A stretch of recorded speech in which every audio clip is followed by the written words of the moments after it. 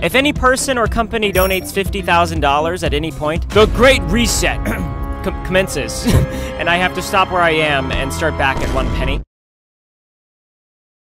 Someone had to have donated $100,000. oh my gosh. Paul Dot.